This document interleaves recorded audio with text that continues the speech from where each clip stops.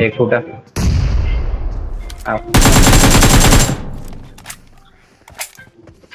अंदर चड्डी में बैठा